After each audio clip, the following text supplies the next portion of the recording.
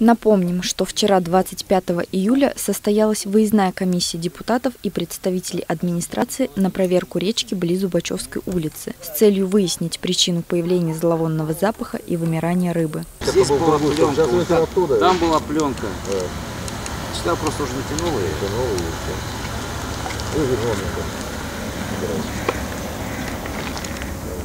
Сегодня, 26 июля, состоялся повторный выезд соответствующих служб. На место прибыли представители водоканала и комиссии по экологии общественной палаты, чтобы найти очаг загрязнения реки. Причиной того, что произошло в деревне Зубачева, вполне может быть залповый сброс канализации. Возможно, частный возчик какой-то сбросил целую бочку в ручей э, канализационных стоков. Путем решения данной проблемы частых сбросов э, является это выявление таких фактов, выявление таких недобросовестных э, водителей, возможно установка э, камер видеонаблюдения в проблемных местах, которые можно выявить, которые мы тоже уже выявляем. Фотоловушки можно поставить. Также, конечно, большой причиной, серьезной причиной может являться сброс из частного сектора большого количества стоков. Сейчас жара стоит, вода цветет, образуется пленка на водоемах, и рыба, соответственно, гибнет, потому что ну, нет кислорода. Также нужно, как мне уже пояснили специалисты, можно ставить станции насыщения кислородом водных объектов, мобильные станции, они существуют. Также можно будет говорить и об уголовной ответственности, если это будет в больших масштабах. На улице Василия Шукшина был обнаружен проток, в котором, со слов жителей, некий мужчина что-то мыл или сливал. А это была санизаторская машина. Он говорит, я шланги мою. Ну, житель говорит, я говорит, не понимаю вообще саму механику, как что происходит.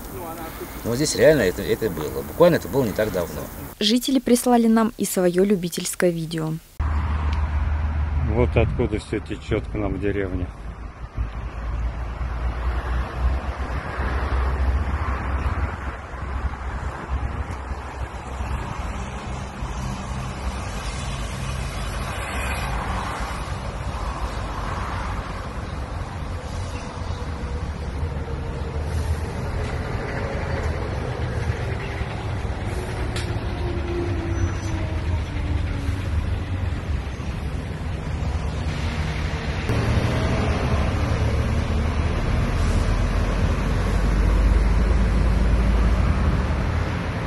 За домом одной из жительниц также был обнаружен сток воды.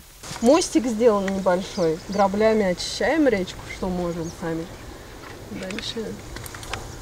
Вот уже больше недели вот это стоит здесь.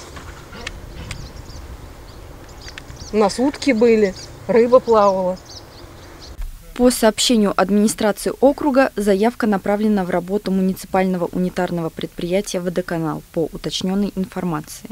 Срок до 19 августа 2022 года запланировано провести полное обследование прилегающих сетей с целью выявления причины и источника излива, а также выполнением работ по устранению утечки. Поиск причин продолжается.